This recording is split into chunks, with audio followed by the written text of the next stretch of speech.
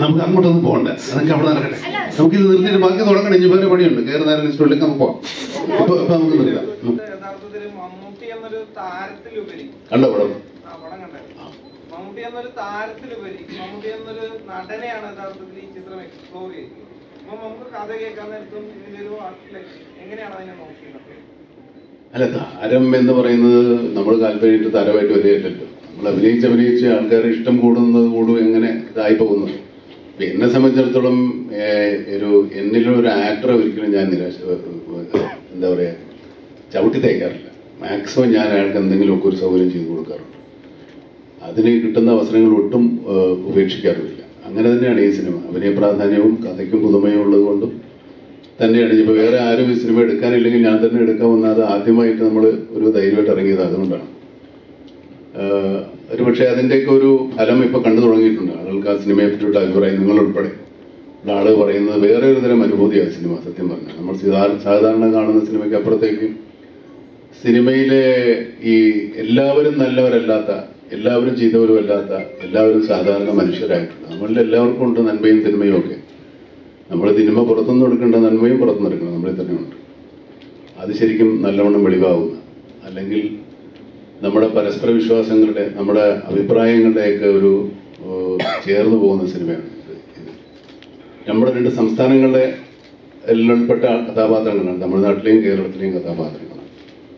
നമ്മുടെ അയൽ സംസ്ഥാനവും നമ്മുടെ സംസ്ഥാനവും എന്താ അതിനൊരു ഒരു സൗഹൃദത്തിന്റെ ഒരു ഭാഷ പിന്നീട് വരികയുള്ളൂ. ആദ്യം നമുക്കൊരു ഒരു ചെറിയ പരസ്പരം വിശ്വാസമില്ലായ്മ അങ്ങോട്ടും ഇങ്ങോട്ടും ഇഷ്ടമില്ലായ്മ ഉണ്ടെങ്കിലും അതൊരു വലിയ ഒരു സ്നേഹനദിയായിട്ട് ഒഴുകുന്ന നമുക്ക് നമുക്ക് ഒരുപാട് ഞാൻ വിശദീകരിച്ച സിനിമയുടെ കാഴ്ചഭംഗി കളയുന്നില്ല.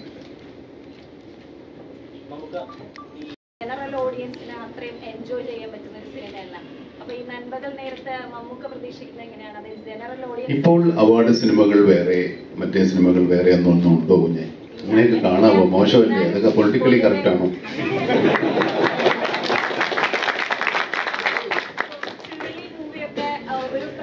ഈ അവാർഡ് കിട്ടുന്നത് കൊണ്ട് പൊട്ടിപ്പോയത് കൊണ്ട് ആ അവാർഡ് മോശം സിനിമ അവാർഡ് അവാർഡ് സിനിമയൊക്കെ പഴയ പ്രയോഗമാണ് അതൊന്നും ഇപ്പൊ എടുക്കാൻ പറ്റില്ല. സോറി പറ്റില്ല. എല്ലാ സിനിമയും എല്ലാ ഓഡിയൻസിനും എൻജോയ് ചെയ്യാൻ പറ്റില്ല. ഒരു സിനിമയും പറ്റില്ല. ഈ സിനിമയെ കുറെ ഓഡിയൻസിനും ഇഷ്ടപ്പെടും എന്നാണ് ഞങ്ങൾ വിചാരിക്കുന്നത്. എല്ലാവർക്കും വേണ്ടിയാണ് സിനിമ എടുക്കുന്നത്. അത് എല്ലാവരും ഇഷ്ടപ്പെടണമെന്നില്ല അത്രയോ അടുത്താണ്. ഓരോരുത്തരും എല്ലാവരും പള്ളിക്കൂടത്ത് പഠിക്കുന്നുണ്ട് എന്റെ ക്വസ്റ്റ്യൻ എസ് ഹരീഷ് സാറിനോടാണ്. ആക്ച്വലി നമ്മൾ ഈ ജല്ലിക്കെട്ട് പോലെയുള്ള സിനിമകളിൽ ഒരു കൃത്യമായ രാഷ്ട്രീയം പറഞ്ഞു വെക്കുന്നുണ്ട് അതിപ്പം എൽ ജെ പിയുടെ ഈശോ മാറിയോസേപ്പ ആണെങ്കിലും ഈ ചുരുളി അങ്ങനെ എല്ലാ സിനിമയ്ക്കും ഒരു കൃത്യമായ രാഷ്ട്രീയമുണ്ട്. ഈ നൻപകൽ നേരത്തെ മയക്കത്തിന്റെ രാഷ്ട്രീയം എന്താണ്? അത് നമുക്ക് പറഞ്ഞു കഴിഞ്ഞു. അതായത് ഭാഷ സംസ്കാരം മതം ഇതിലുപരിയായി മനുഷ്യവികാരങ്ങൾ ഒന്നാണ് എന്ന്. പറയുന്ന ഒരു അത് എപ്പോഴും ഉള്ളതാണ് നമുക്ക്. ഭാഷയും മതത്തിനും ജാതിക്കും സംസ്ഥാന അതിർത്തികൾക്കും അപ്പുറത്തേക്ക് ഒരു മാനുഷിക മൂല്യങ്ങൾക്ക് വിലയുണ്ടാകുന്ന ഒരു സമയം എന്നുമുണ്ട്. അത് പറയപ്പെടുന്നതല്ല കാലാകാലങ്ങളായി ഉള്ളതാണ്. നമ്മൾ ഇടയ്ക്ക് ഇങ്ങനെ തെറ്റി തെറ്റി പോകുമ്പോഴും പിന്നെ പിന്നെ ഇങ്ങനെ അടുത്തടുത്ത് വരും. അത് ഈ സിനിമയിലും ഉണ്ടാവും അങ്ങനെ ഒരു അവസ്ഥ വരും. അതാണ് ഈ സിനിമയുടെ രാഷ്ട്രീയം. മനുഷ്യൻ അവസാനം മനുഷ്യനായി തന്നെ ഇരിക്കുന്നു എന്നുള്ളത് തന്നെയാണ് നമ്മുടെ എല്ലാ രാഷ്ട്രീയവും തന്നെ ആവണം. പക്ഷേ ഈ സിനിമയുടെ രാഷ്ട്രീയം അത്. ആ പറഞ്ഞു. ആ ഒരു പടത്തിൽ നമുക്ക് ആ ഒരു ക്രൂ ആണ് അതിനകത്ത്. നമ്മുടെ കൂടെ ലിജോ ലിജോ സാറാണെങ്കിലും ആ മൊത്തം ടീമിന്റെ ഒരു വിജയമായിട്ടും മമ്മൂക്കാട് വിജയമായിട്ടാണ് നമ്മൾ കാണുന്നുണ്ട്. അവിടെ ഉണ്ടായ ഏറ്റവും രസകരമായ ഒരു അനുഭവം എന്തായിരിക്കും? ആ ഷൂട്ടിംഗ് സ്ഥലത്തുണ്ടായ ഒരു അനുഭവമില്ല ആ മുപ്പത്തഞ്ച് ദിവസം രസകരമായ അനുഭവമില്ല അല്ലെങ്കിൽ ഇവരോട് ചോദിച്ചു. ഒരു ദിവസം. എല്ലാം ഏറ്റവും രസകരമാണ്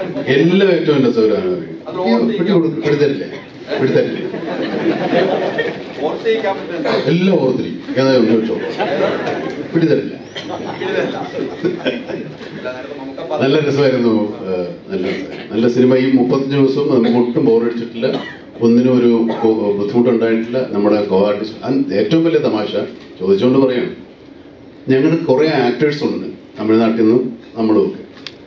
ആ തമിഴ്നാട്ടിൽ ആ ഭാഗത്തുള്ള ഒരുപാട് നാട്ടുകാരും ഉണ്ട് സിനിമയിൽ നാട്ടുകാരേതാ ആക്ടേഴ്സ് ഏതാണെന്ന് അറിയാൻ പറ്റാത്ത അവസ്ഥയായിരുന്നു പറഞ്ഞു കഴിഞ്ഞപ്പോൾ ഞാൻ അവിടെ കിടന്ന് ഉറങ്ങുക ചായക്കടയിൽ ചായ കുടിക്കുമ്പോൾ നാട്ടുകാർക്ക് ചായ കുടം വേണ്ട വേണ്ട അവർ നമ്മളിൽ ഒരാൾ അവിടെ ഒരു ചായക്കട ചായ കുടിക്കാൻ വന്ന ഒരാളായിട്ട് കണക്കായിട്ടുള്ളൂ അതൊക്കെയാണ് ശരിക്കും സിനിമയെ ഇത്രത്തോളം ഒരുപക്ഷെ വളരെ റിയലിസ്റ്റിക് ആക്കിയത്.